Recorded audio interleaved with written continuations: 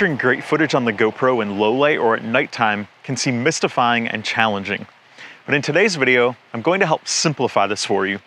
I'm going to show you each and every setting I configure on my GoPro in order to get excellent low light and night light footage. And I'm also going to show you a couple tools that I use in order to get the very best footage possible from this camera in low light, night light, and indoor footage as well. Now I will be showing you these settings using the GoPro Hero 10, but it should be noted that you can use pretty much any GoPro model with these settings. I will specify if any of the settings are specific to the 9 or the 10, but in general, most of these settings will apply to all GoPros. In addition, in this video, I'll show you several scenes that I filmed using the GoPro Hero 10 at nighttime. Now I chose a holiday lights setting for this because this is a great place to film nighttime footage. There's a lot of interesting things to see. So I will show you several scenes from that so you can see examples of what low light and night light footage looks like with the GoPro when using my settings. And of course, the night I planned to do this filming also happened to feature an ice storm. So I had that additional challenge, but I did not let the ice storm stop me. I still went out there and filmed. So let's get started and dive into these settings and tools. And if you do find this content to be useful, please hit that like button as you're watching. It helps me out a whole lot and I really appreciate it. So first thing I'm gonna do is I'm gonna show you all the settings I configure on the actual GoPro itself.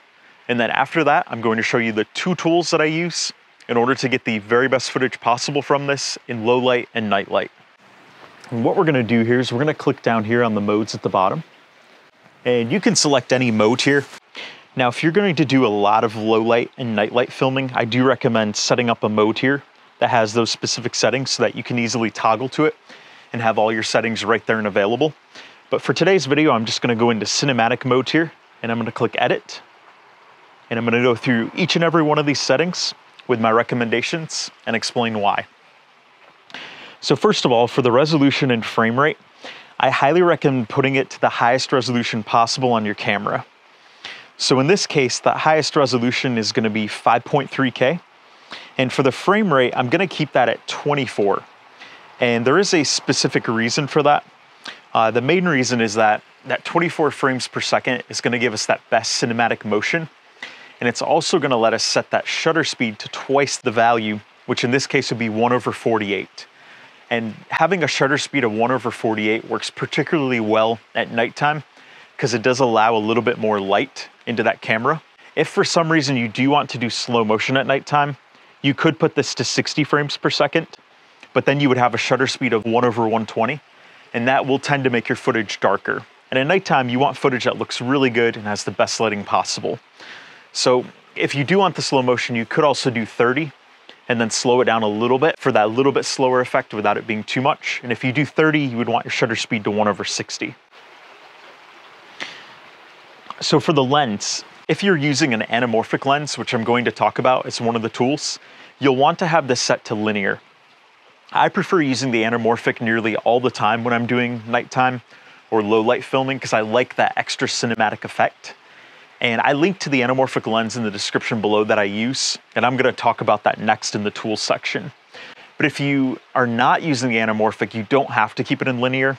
You could do wide, super view, either of those up here.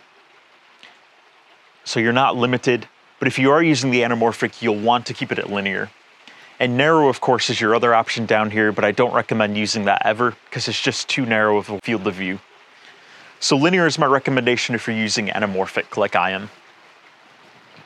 Hypersmooth, you definitely want to have Hypersmooth turned off. And the reason being is that Hypersmooth will not work properly in night light or low light. If you're moving, your footage is gonna be very jittery, it's gonna look really bad, and it's not gonna be usable. And if you're standing still or stationary in low light or night light, you don't need Hypersmooth anyway. So regardless, you're gonna wanna turn that off. And this, of course, probably raises the question with you, well, if I turn hypersmooth off, then my footage is not gonna be stable. You are correct. So if you are gonna be moving in the low light or night light, you're gonna want to have a gimbal of some kind. And I've linked to two of them that I recommend in the description below. And in a few minutes, right after these settings, I'm also gonna talk about the gimbal and why you need it and which one I recommend and the features that each one offers. Next, scheduled capture that does not apply, you can keep that off. Duration can be no limit. Hindsight can be off. Timer can be off, and zoom should be 1.0x. Next, under ProTune, you wanna make sure the bitrate is set to high. And for the shutter speed here, you're gonna wanna set that to twice your frame rate. You could keep it auto, but auto is not going to work well at nighttime. It's gonna tend to make your footage either too dark or too bright. It's not gonna work well at all. And it's gonna make a lot of ghosting effects in your footage potentially. So shutter, always set that to twice your frame rate. In this case, I'm using 24 frames per second, so I'm gonna set that to one over 48. And like I said, if you're using 30 frames per second, you'll wanna put it to one over 60. And if you're using 60 frames per second, you'll wanna put it to one over 120. For the EV comp, that's not going to apply.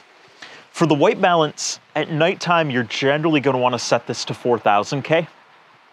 That's usually a really good white balance for nighttime footage. So I recommend 4000K. But whatever you do, just don't keep the white balance at auto. If you set it to a value, you can at least change it later on when editing really easily, and you can apply that change to all your footage. If you set it to auto, you could run into problems with that, and it can make it very hard to edit. For your ISO minimum, make sure that's set to 100, and your ISO max, I generally do not recommend going over 800. And the good thing is with these settings, as long as there's at least some lighting from street lights, or from Christmas lights as with my footage, it's gonna look okay. And you're not gonna have to go to the 1600. There will be some settings if it's really, really dark and there's very little lighting available where you may need to go to 1600. But once you get to 1600 for ISO max, it does introduce quite a bit of grain into the footage. So if you can keep it at 800 and get good results, which you can check, you know, film a little bit and then check and make sure it looks okay. If it does look okay, keep it at 800. For the sharpness, you definitely want to keep that at low. This is going to give you best results with nighttime footage. For the color, I definitely recommend keeping that at either flat or natural. If you go up here to vibrant, which is called GoPro on some of the older GoPros, that can sometimes give you weird results with nighttime footage. Uh, some of the colors are gonna look overdone and kind of pixely, so I recommend flat as the best choice. But if you don't use flat, then use natural. And for raw audio and wind, that's not going to apply. If you do want good sound from your GoPro, I recommend using an external microphone or at least the Media Mod audio. Which of course, right now it shows Media Mod front because I do have the Media Mod attached to my GoPro at present. All of these shortcuts down here will not apply. Now, as I mentioned before, if you're doing indoor filming, nearly all of these settings will be the same. And the reason for that is indoor filming, you don't have a good source of natural light. So for indoor filming, you're generally gonna wanna have all of these settings set the same. If you're not moving around indoors, then you probably would not need a gimbal. You could simply mount your GoPro stationary to a tripod and you could have hyper smooth off and it's not gonna matter. So if you're doing some type of indoor filming where you're talking to the camera, then you can easily have that hyper smooth off and use a tripod. You wouldn't need a gimbal. And the same would go for the anamorphic lens unless you're doing something really cinematic indoors, you probably don't need the anamorphic lens. Uh, you probably could just use a standard GoPro lens indoors. But if you are moving around indoors, I do highly recommend having a gimbal with that because most of the same rules for low light or night light are going to apply indoors. Your footage will look bad unless it's really well lit. So if you're moving around with hyper smooth on, it's gonna have that jittery, jumpy effect to it unless you have really good natural lighting in there. Now that we've gone through the settings, let's talk about the tools. The first tool that I use is a gimbal. And the reason you need that gimbal is because with hypersmooth turned off for the low light and night light, the footage is gonna be rough. It's gonna be very unstable, jittery. It's not gonna look good, so you've gotta have a gimbal. In the description below, I've linked to two gimbals that I recommend. The first one is more of a budget model. It's called the Inkee Falcon. And the Inkee Falcon is fully compatible with the GoPros. Going back to about the five or the six, you can control the camera from the gimbal, which is a great feature.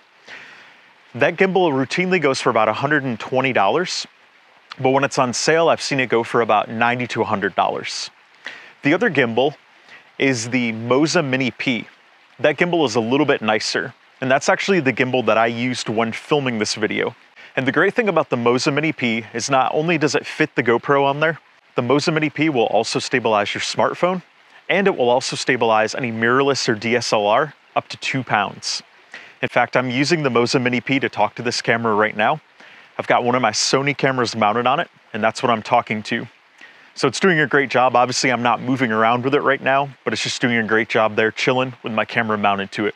Because it can also be used as a tripod. So if you're not sure which gimbal you should get, my advice is if you're only gonna use a gimbal with a GoPro, then you probably want the Inkee Falcon.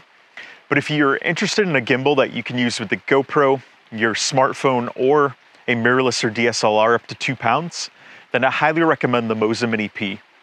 The Moza Mini routinely goes for about $200, but I've often seen it for about 169 when it goes on sale on Amazon.